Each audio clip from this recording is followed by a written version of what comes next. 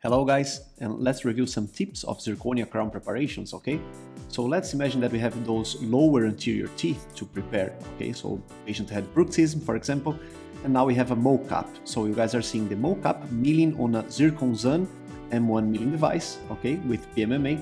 And now you guys are seeing that we are turning to see the amount of reduction that we are doing in comparison with the temporary prosthesis, okay? So you can always check that if you have your temporary prosthesis. Again, that's just a mock-up, okay, with a flexible PMMA. But all right, so we need now to finish our preparations, okay, which we already started for the lower anterior teeth. And then we need to follow some tips. We need smooth surface reduction, we need clear margin lines, we need always to make sure that we don't have undercuts and then we need to look from the top, but for each preparation, and then we want rounded angles, of course. Okay, so those are very nice tips. Let's see a little bit about those tips now. So we want margin integrity, and then of course you want to have your high-speed handpiece very stable, okay?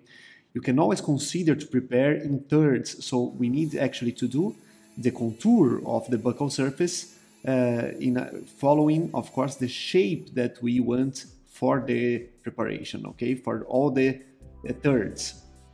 So now you guys are seeing that we have stability of the burr, always checking the axis of the burr in relation to the axis of the tooth, okay?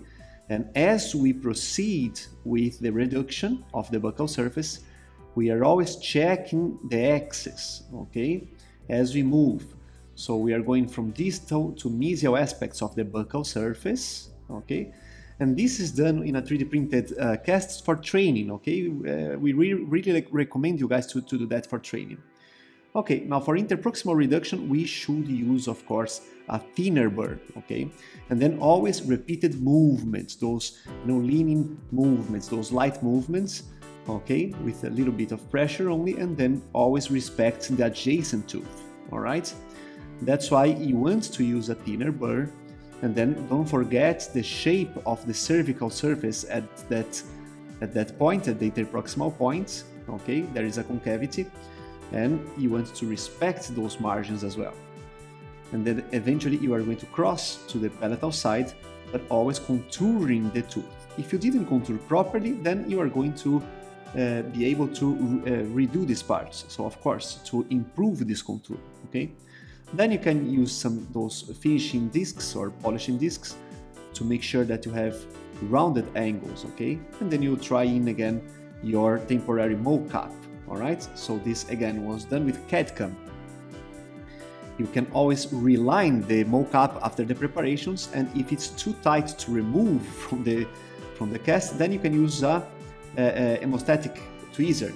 So then you remove the temporary prosthesis and we need to make sure we need to polish between the margin uh, of the different crowns okay?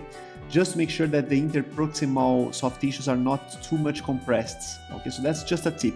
But of course without affecting the margins